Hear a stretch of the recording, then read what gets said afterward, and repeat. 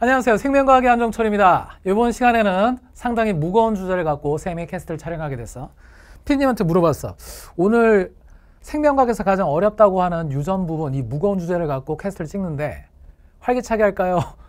좀 진지하게 할까요? 그랬더니 피디님이 활기차게 하라고 해서 음, 내용의 무게감하고는 좀 다소 분위기가 다를 수 있겠지만 활기차게 시작해 보려고 음, 노력해봤어. 이번 시간에 쌤이 준비한 건 유전의 학습 가이드야. 제목이 되게 딱딱해. 만약에 쌤이 유전의 학습 가이드를 연초에 찍고 있다면 1년 동안 여러분들이 유전을 어떻게 공부하면 되겠다라고 하는 정말 이상적이고 완벽한 학습 가이드를 준비하려고 고민을 했을 것 같아. 근데 오늘은 아니야. 오늘 쌤이 얘기하려고 하는 유전의 학습 가이드는 되게 현실적인 얘기를 하고 싶어. 여러분들과. 최근에 쌤 수강평에 유전에 관련된 고민글들, 고민글들이 되게 많이 올라오고 있거든. 저는 이런 상황입니다. 남은 기간에 어떻게 해야 할까요? 저는 아직 유전을 시작하지 못했습니다. 전 유전을 적당하게 풀줄 아는데 이런 것이 고민이에요.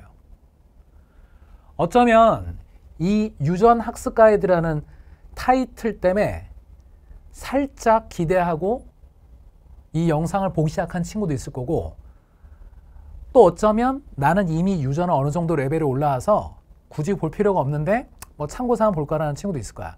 초반에 미리 얘기할게 결론을. 유전을 매우 잘한다고 느끼는 친구, 유전을 6평 기준으로 보통 모의고사에서 유전 문제가 여섯 문제가 출제가 돼. 그 여섯 개를 어느 정도 다 건들 수 있다는 친구들은 이 영상을 보지 않아도 돼. 본인의 원래 루틴대로 해. 이 영상은 순수하게 6평 이후에 남은 4개월 동안 유전을 포기하고 싶은 유전을 어떻게 해야 될지 모르는 그런 막막한 상황에서 나는 유전을 어떻게 하면 될까 이 고민에 맞닥뜨려 있는 친구들을 위해서 준비한 영상이야. 그리고 복잡한 얘기를 하고 싶지 않아. 가급적이면 단순하게, 가급적이면 여러분들이 느낄 때 명쾌하게 얘기를 전달하고 싶어. 피디님이 들으실 때 중간에 공감까지 공감이 안 되는 내용이 나오면 끊어주세요 그냥. 다시 촬영을 하자고. 첫 번째, 유전 문제 구조를 우리는 한 번쯤 다시 생각해 봐야 돼. 유전 문제는 여섯 문제가 출제가 되고 그 여섯 개 중에 세 개가 일반적으로 3점이야. 나머지 세 개가 2점이고. 그리고 여섯 개 모두 어렵진 않아. 한두 문제는 개념형 유전 문제이기 때문에 내가 정말로 개념만 알아도 그리고 최소한의 기출만 풀어봤어도 누구나 맞출 수 있어. 그래서 유전을 또 미리 결론을 내자면 모두 포기하지는 마. 유전 문제는 조건과 선지로 이루어져 있는데 모든 문제가 그러하겠지만 특히 유전 문제는 조건과 선지의 특성을 어느 정도 우리가 알고 들어가야 돼. 문제의 조건에서 유전은 첫 번째 조건이나 두 번째 조건까지가 기본 개념을 활용하여 내가 지금 풀려고 하는 이 문제는 어떤 유전 현상을 다루는 것인지를 제시해줘. 근데 이게 의외로 많이 중요하거든. 왜냐하면 강사들은 나를 포함한 강사들은 유전 쪽을 특히 강의할 때 유형별로 쪼개서 이거는 이거고 이거는 이거야 라고 뭔가 단순화시켜 유형화시키고 그리고 문제마다 이렇게 풀어봐라는 풀이법을 많이 강조한다고. 왜냐하면 학생들이 유전의 내용 내용을 모두 스토리를 짜갖고 그 짧은 시간에 판단하기 쉽지 않다는 걸 이해하거든. 그래서 유전은 유형별로 쪼개서 이런 유형이 있고 이런 유형이 있는데 쉬운 유형은 개념으로 풀고 이런 어려운 유형들은 이런 풀이법을 써봐라고 유형화 시켜준다고. 그럼 그 유형화 과정에서 우리는 그 유형, 내가 풀고자 하는 문제의 유형을 파악하려면 일단 그 문제에서 다룬 유전 현상을 알아야 한다는 거지. 여기서 자연스럽게 아 내가 푸는 문제는 다인자 유전이구나. 내가 푸는 문제는 비분리 문제구나. 라는 거를 볼 줄 알아야 한다는 거지. 그리고 두 번째, 제시된 조건의 문장을 이해하는 능력을 요구하는데 참 신기한 건 교과서나 개념서를 읽어보면 유전 단원도 문장이 어렵지 않거든?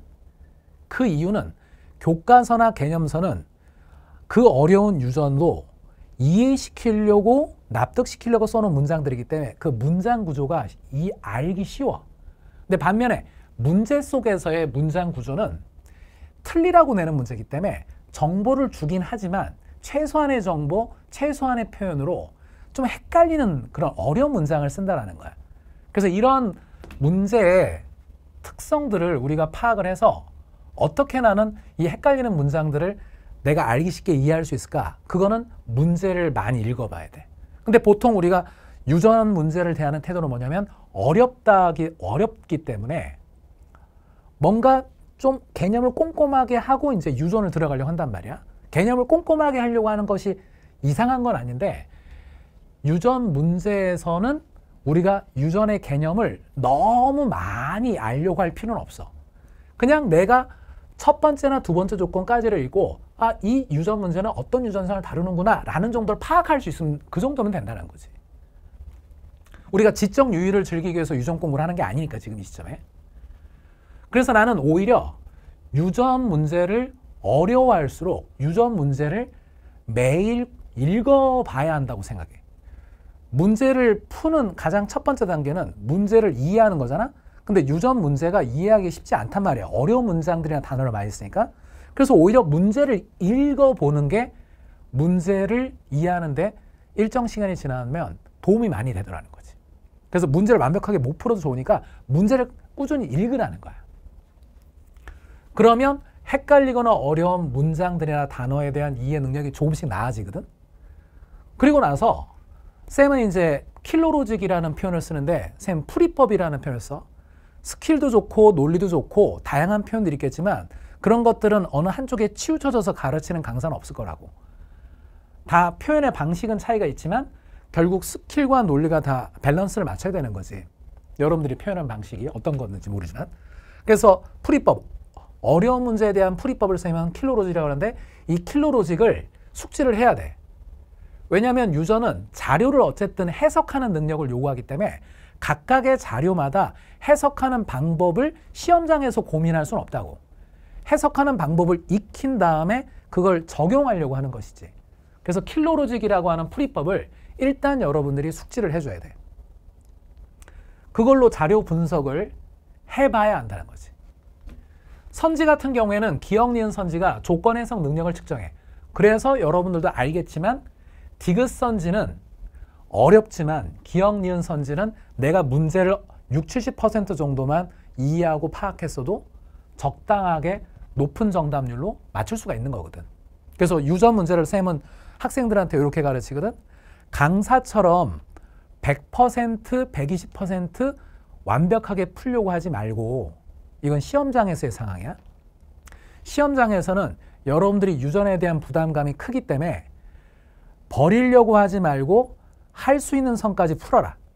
그것이 30%의 풀이가 진행되든 60, 70%의 풀이가 진행되든 조금이라도 더 풀면 정답에 가까워지기 때문에. 그래서 그냥 찍는 것보다 근거 있게 선택지를 판단해 보라는 거야. 우리는 맞추는 게 목적인 거지. 그 짧은 30분 안에 유전 문제를 모두 완벽하게 풀어내려고 하는 게 목적은 아니거든. 점수가 중요하니까 일단 시험에서는. 물론 평소에 유전을 공부하는 방식은 다소 차이가 있지. 그럼 후반부에 다시 얘기할게. 그리고 디귿선지 같은 경우는 계산 능력을 측정하기 때문에 이거는 많이 계산을 해보는 수밖에 없어. 여러분들이 수학 문제를 수학 공부를 매일 6시간 이상씩 하듯 유전도 디귿선지는 대부분 다 계산이거든. 계산은 매일 하는 것이 제일 좋지. 쌤이 수강후에 보니까 어떤 친구가 한종철 쌤은 생명과학을 매일 하라고 하는데 사실 매일 하기가 버거워서 이틀에 번갈아서 일주일에 6일을 과탐에 투자하는데 3일은 다른 탐구, 뭐 지구과학이면 지구과학, 또 3일은 번갈아 가면서 생명과학 한다. 그것이 잘못됐다는 것이 아니라 매일 보는 것과 이틀에 나눠서 보는 게 차이가 있기 때문인 거야. 공부의 총량을 똑같게 맞춘다 하더라도 매일 보는 게 훨씬 낫다라는 거지. 점수적인 측면에서는. 그거는 왜 그러냐라고 쌤이 명쾌하게 설명해 줄 수는 없어. 실제 점수가 그렇게 나오더라는 거야. 학생들이. 그래서 쌤이 생각한 훈련의 순서는 이래. 기본 개념으로 유전 현상을 파악을 할 수 있어야 하기 때문에 유전 현상을 파악할 수 있는 정도의 기본 개념을 갖추라는 거야. 기본 개념에서 너무 시간을 많이 끌지 말라는 거지. 공부하는 데 있어서. 내가 유전 문제를 읽어봤는데 기출을 기준으로 하면 읽어봤는데 첫 번째나 두 번째 조건까지가 대부분의 유전 문제가 다 이해가 가. 뭔 말인지 알겠어. 그럼 그 친구는 기본 개념이 된 거라는 거야. 그 다음에 킬로로직, 풀이법으로 유형별 자료 분석을 적용해 보는 거야. 그러려면은 뭐가 먼저 선행돼야 돼? 킬로로직이라고 하는 이걸 여러분들이 숙지를 해줘야 돼. 단순히 암기가 아니라 맨 처음에는 어떤 부분은 또 암기가 암기를 해야 될 수도 있겠지. 근데 처음부터 끝까지 선생님 설명 과정을 모두 암기로 해결하려고 해서는 안 되고 대부분은 이해를 좀 해줘야 된다는 거야. 왜냐하면 쌤이 킬로로직이라고 해서 가르치는 이 풀이법이라는 거는 기존의 기출 문제를 분석해서 알려주는 것이 앞으로의 출제될 예상 문제들에 대한 모든 풀이를 완벽하게 알려주는 풀이법이 아니거든. 쌤과 같은 강사들이 알려주는 풀이법은 맞는 풀이법이 아니라는 걸 솔직하게 고백을 한다고 여러분들한테. 여러분들 그걸 정확하게 인지를 해줘야 돼. 그래서 알려준 풀이법인 킬로로직을 여러분들이 어느 정도는 이해를 해주고 반복 체화를 해줘야 이걸로 응용을 할 수 있다는 거지. 여러분들이 응용을 해줘야 킬로로직이 빛을 발할 수가 있는 거야.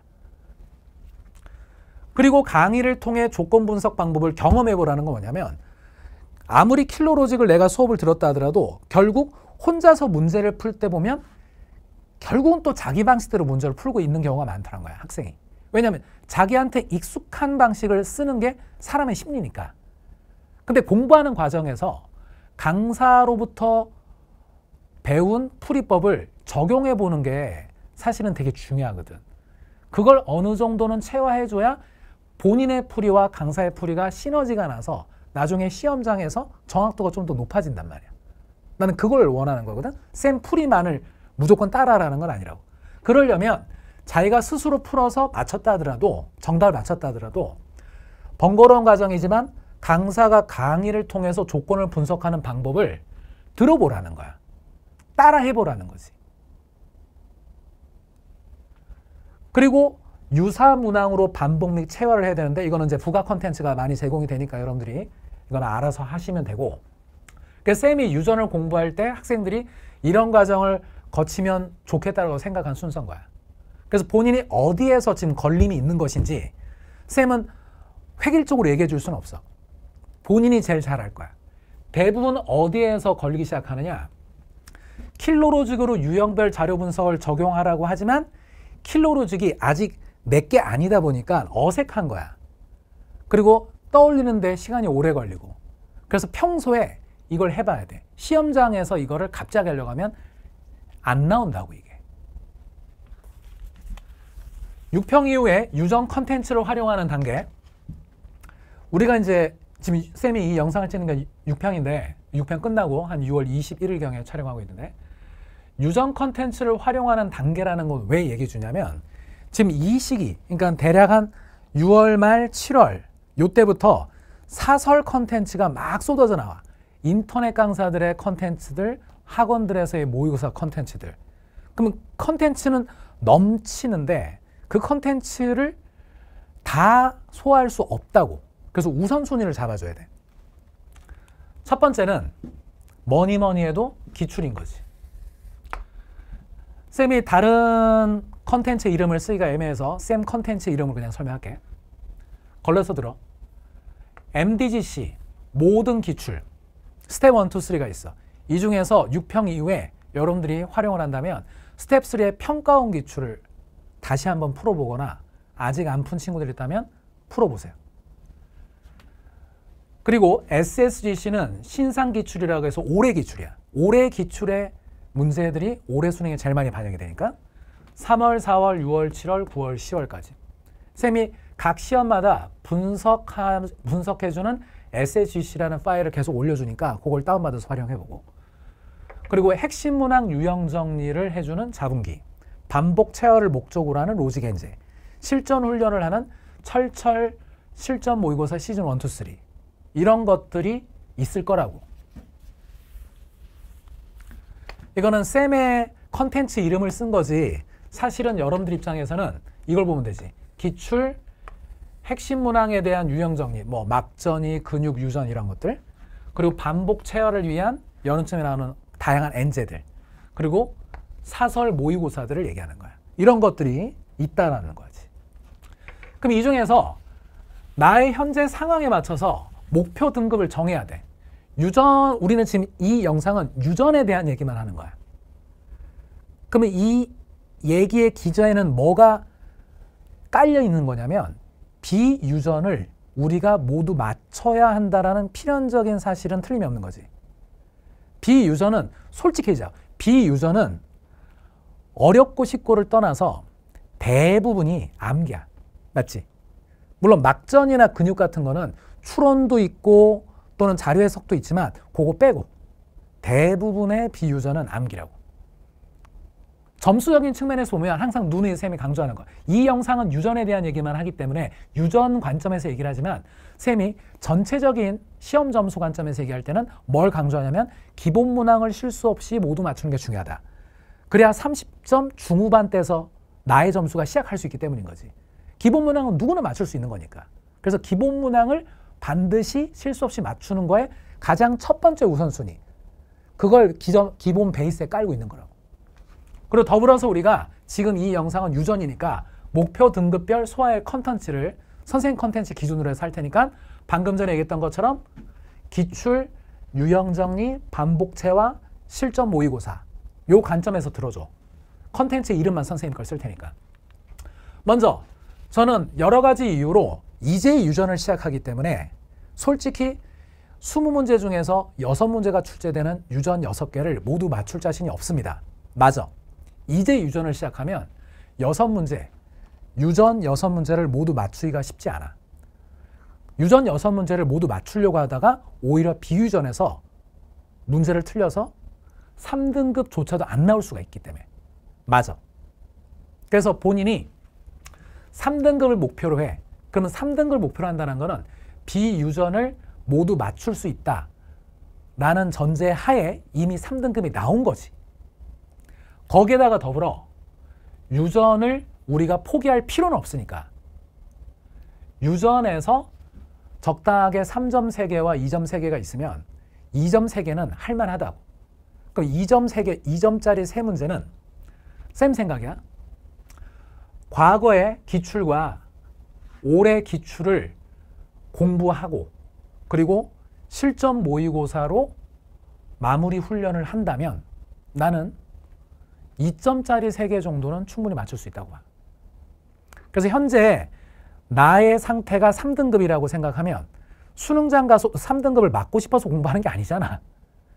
현재 6평 기준은 나의 등급이 3등급이고 유전 6개에 대해서 유전 6개에 대해서 다 포기하고 싶고 어떻게 할지 모르겠어. 이런 상황. 그 친구 얘기하는 거야.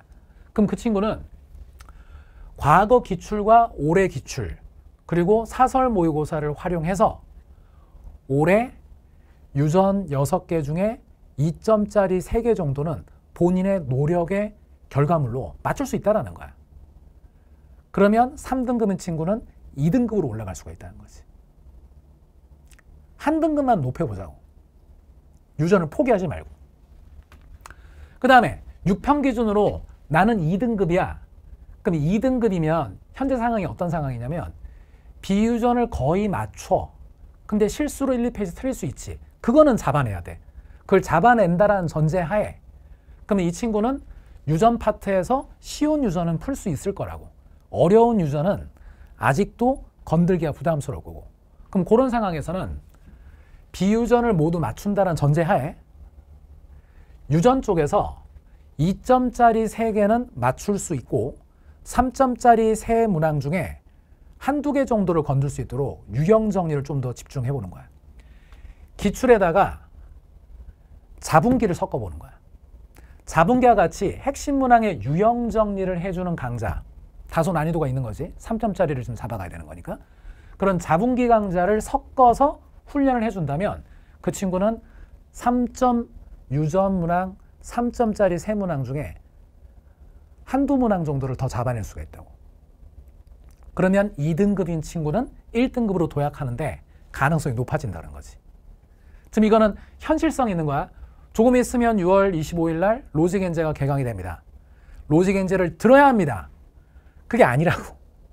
현재 나의 상황에 맞게끔 좀 더 현실적으로 판단해 보자는 거지.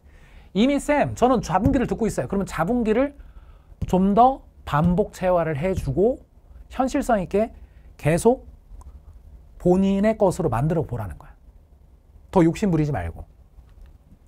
그 다음에 6평 기준으로 저는 1등급이에요. 만점을 맞았습니다. 찍어서 맞췄든 실력으로 맞췄든 어떤 상황이든 그냥 점수는 점수니까 6월 평가 기준으로 1등급과 만점 요 사이에서 있는 친구들은 생명과학에 대한 소화할 수 있는 능력이 어느 정도 있기 때문에 그 능력을 극대화시키기 위해서 기출, 자분기, 로직엔제, 철철 실무 시즌 1, 2, 3 이거는 셈의 1년 커리를 모두 소화해 달라는 거야. 소화할 수 있는 능력이 있기 때문에 이 친구들은. 그냥 생명과학의 공부량 측면이나 흡수하는 속도 자체가 그냥 루틴으로 받아들일 수 있는 수준인 거지. 근데 모든 수험생들이 1등급 만점을 목표로 공부하는 건 맞지만 모든 수험생들이 한 강사의 1년 커리를 모두 소화할 수 없는 건 현실이거든. 그러니까 본인의 상황에 맞게끔 하라는 거야. 쌤은 그래서 더불어 1등급이나 만점을 맞았던 친구들은 이것뿐만 아니라 다른 강사의 실무나 다른 학원의 컨텐츠들도 부분적으로 본인이 취약한 부분 있잖아. 부분적으로라도 활용을 해보는 게 좋지 않을까. 다양한 관점과 시선이 필요하거든요, 여러분들한테.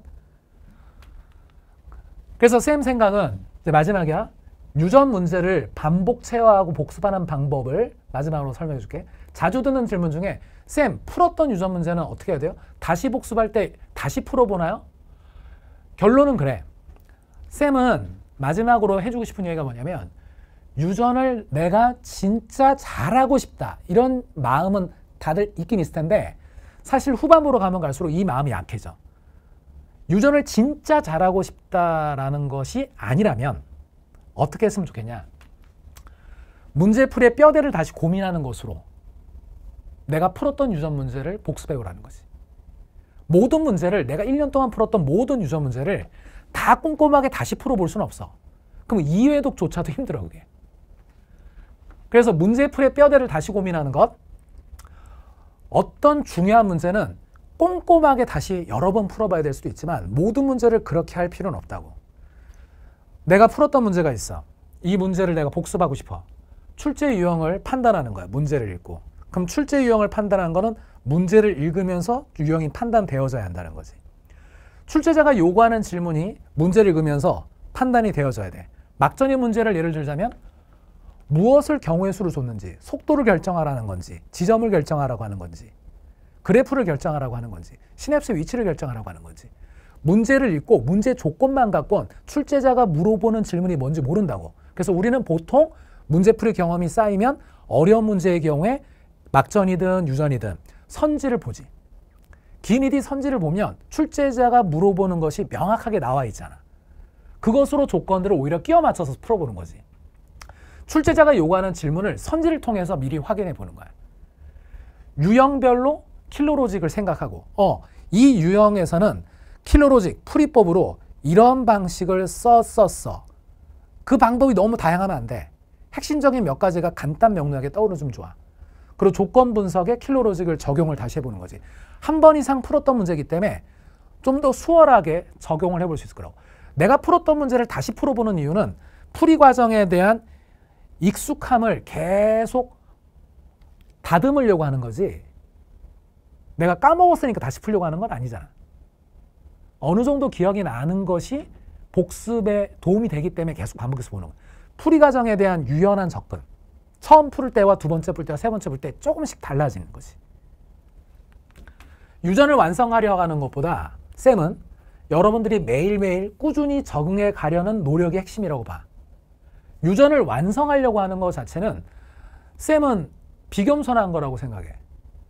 쌤도 쌤을 포함 모든 강사들도 평가원에서 출제하는 6평, 9평 수능을 보면 완전히 새로운 문제거든. 문제를 보자마자 유전 문제를 1분 안에 답이 뭐다 라고 판단하는 건 쉽지 않아.